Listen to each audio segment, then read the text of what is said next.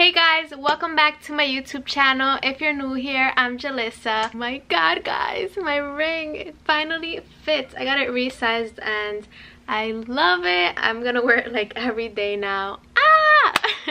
so in today's video, I'm gonna tell you guys how to have a good makeup day and what products you need. So for those who don't know, I have oily skin. Right now I don't have anything on my face. I only have a moisturizer. And as you can see, I do have some dark spots. But today we're going to cover them up. And these are the products that I use almost every day but these are definitely my favorite products at the moment. So the first product that I'm going to use is this CC cream from Farmasi. Guys, I have been obsessed with this one. When you wear this, it doesn't even feel like if you're wearing makeup. It feels so lightweight, but it covers up all the imperfections, all the dark spots. I am really not digging this shirt. But yeah, I really like this. What I do is that I put a little bit on my hands. This was only like 14 bucks, which is kind of crazy because to me that's actually very affordable. So I use about that much. My shade is medium and and I just put it all over my face you can see it's starting to cover up my dark spot so I forgot to mention, but I'm actually going to do a quick Q&A. So I told you guys to ask me some questions on Instagram and you guys sent over some questions. So I figured I would answer them as well in this video. Okay, so the first question is what made you want to do YouTube videos? So I have always watched YouTube videos like for the longest time now. Oh my god, ever since maybe like middle school like back in 2008 9 like i i'm just always into watching videos online. So i actually went to college i studied communications and i really wanted to be a reporter. That was kind of like my thing. Like i just wanted to be in front of the camera if you want me to be honest and i thought reporting would be fun but i mainly wanted to be a news anchor. But for you to be a news anchor you gotta do reporting for like years. Like it's not like you're gonna graduate college with the degree in communications and then just be like oh i'm gonna apply to a news anchor position i'm gonna get it. Without experience you probably won't get it if you want me to be honest. It just doesn't work that way. Like you need to have some experience in front of the camera not just experience from school. Like some places prefer someone with years of experience working in the field as compared to a degree which is crazy but I mean, I guess it makes sense, you know. You know, I did some internships with some local news stations. Um, and, you know, I liked it, but I also realized that reporting wasn't for me. Like, just going to random places, sometimes at night, it's a little bit dangerous. Like, sometimes you have to go alone and sometimes you have to bring the big camera and film everything alone do everything alone and if you want me to be honest i am kind of scared of a lot of things but it just wasn't for me. Like i just didn't picture myself going and reporting a hurricane or when i'm i don't even like driving in the rain you know what i mean? Like stuff like that. It just wasn't for me. I feel like that's for someone who's a little bit more aggressive out there more brave. I'm brave but not in that sense you know what i mean? So it really just wasn't for me and i have always loved taking pictures, being in front of the camera. I got into modeling too at the time and I noticed that I liked that a lot more than journalism. So three years ago, I remember I was kind of struggling honestly to find a job after I graduated college and I was like, I remember I would talk to my boyfriend and my family about it and it was tough. It was tough because I was applying to so many jobs like even just basic basic like office jobs that you don't even need a college bachelor's degree for. Like you just need a high school diploma for it. Some of these jobs that i was applying for because i was applying for other jobs that you know you needed a bachelor's degree but of course i wasn't even getting those. I really was just not having luck with these jobs. Like i really just was not not having luck. Like i was not getting hired honestly. And i just kind of wanted to make money at the time. It wasn't even like these jobs that i was applying for. I wasn't passionate for them honestly. I kind of just needed to gain some experience and make some money. But that didn't work out.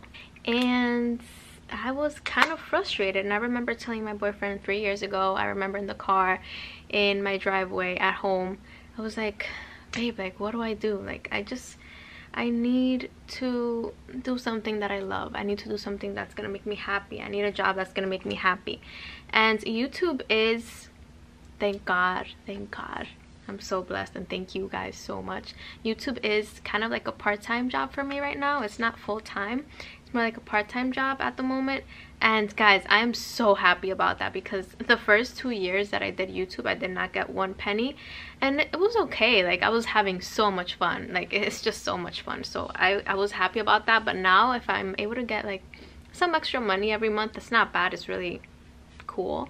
Um i feel like i'm taking so long with this question. I didn't hurry up. But yeah my boyfriend was like i always wanted to do youtube because i always watch youtube videos and he was like just do it. Literally he was just just film a video tomorrow. Just film a video tomorrow. Just do it. Like just stop waiting. Because i would always kind of like push it away and be like i want to do it blah blah blah. Kind of didn't know how to start. Starting is really hard because a lot of people judge you and a lot of people think that youtube isn't a real job or it can become a real job and that it's kind of like a joke or kind of like a game. I just filmed my first video it was actually a skincare video i remember. Like my skincare routine.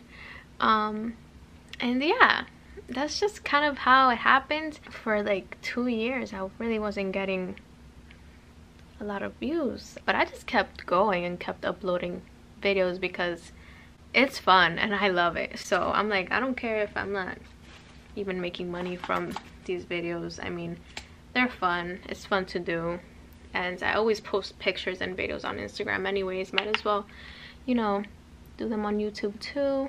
But yeah my boyfriend really did motivate me to film and upload that first video which is like really the hardest thing to do. And you will notice that the people that you thought were going to maybe share your videos don't share them.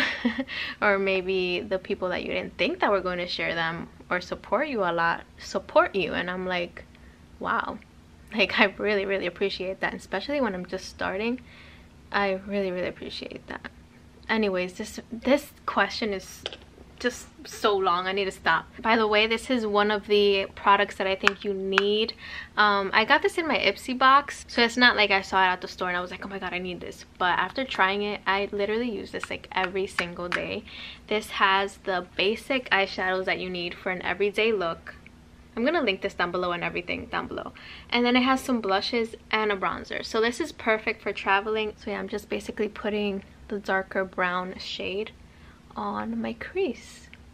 Okay, next question. Um, what type of hair products do you use when you straighten your hair? I will link down below the shampoo that I've been using and the hair mask. I'm gonna film a video more dedicated to that, like how to keep your hair healthy and all that stuff. Before I blow out my hair, I love using the Living Proof Restore Perfecting Spray. You guys know I love it. I think it's perfect for um, a blowout. It leaves your hair so soft, so shiny, and I just love it. I really do recommend that product. It's so good. But yeah, I love that one from Living Proof. I've also been using this garlic.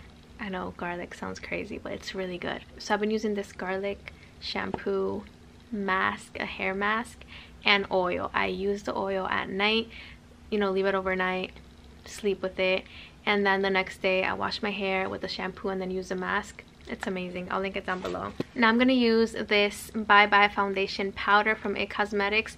I love It Cosmetics. They are just the sweetest ever and their products are so good. Like this one is actually medium tan and this brush is amazing it's from It Cosmetics too it's so big i love it um i did a photo shoot with them and they actually gifted this to me and i was like oh my god yes oh and this too okay next question what is my favorite hair straightener okay so this one's a little bit hard because if i'm just thinking about a straightener that is like the top straightener that i have right now that's like the one that i love so so so much it would have to be my GHD Platinum Plus. I mean, guys, that straightener is just like, whoa.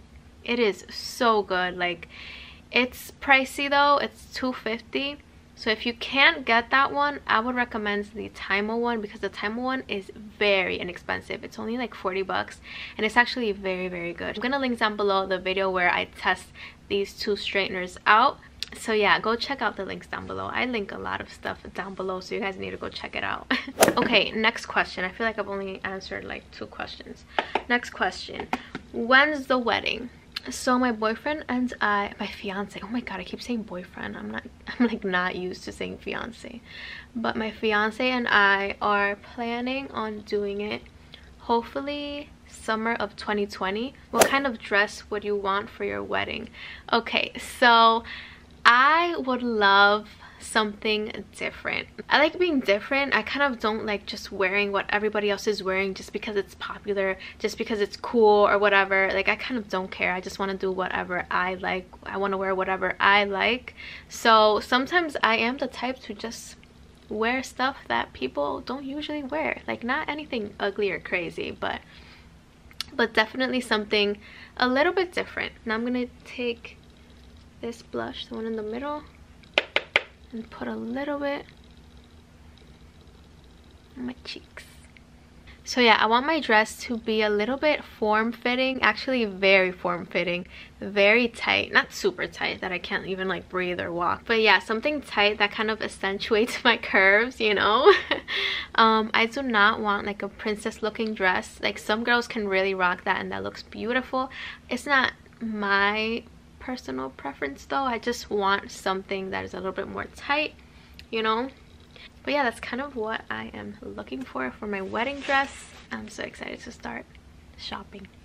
Okay, next question is, does the Revlon One Step Dryer damage your hair? So I honestly think that if you use it too much, just like any other hair tool, it will damage your hair. I mean, using heat on your hair way too much is not good. I feel like maybe don't use it more than once or twice a month the most. But if you use it every week, yeah, you're definitely going to see a little bit of damage over time. I remember when I first got it, I was like using it like crazy, like literally every single week. And I kind of was losing a little bit of hair right here. And I really think it was because of that. Because it can pull your hair a little bit I mean, I'm not going to say that it was just that because obviously I test out a lot more hair tools in my channel. But I know that that's the one that I was using the most. I think it's a great tool. But just like any other tool, don't use it too, too much. Because obviously with time, it can damage your hair. And be very gentle with it because the brush can pull your hair a little bit. It's a great tool. And if you don't have it, I would recommend getting it because comparing it to how I used to blow out my hair with a regular brush and a blow dryer oh my god I was pulling my hair so much. My hair was so damaged back then it was bad. So so I do think that the Revlon is less damaging but whoa. But just be careful and don't overdo it. So now I'm gonna use this Burt's Bee tinted lip balm. This is in the shade hibiscus. Oh my god guys if you want a nice makeup day a very nice and simple natural makeup this is like perfect. Not only does this hydrate your lips but it also gives you a nice tint. And i love it. I love it. It makes my lips look so juicy and that's always a plus. Okay guys so here's the final look. Just very natural very simple. These are the products that i really do recommend and that i use all the time maybe like every single day and i think that you guys need to get them because they are amazing. So yeah i hope you guys like this video. Let me know in the comments down below what type of videos you want to see next I love you guys so much. Thank you for supporting my channel. Thank you for subscribing. Thank you for liking, commenting. I really appreciate that and I love you guys so, so, so, so much. If you like this video, make sure you give it a big thumbs up. And also don't forget to subscribe to my YouTube channel and turn on your post notifications so you can get notified every time I upload a video. And if you liked this video, then I'm sure you're going to like these videos as well. So make sure you go ahead and check out those videos. Bye guys. Love you.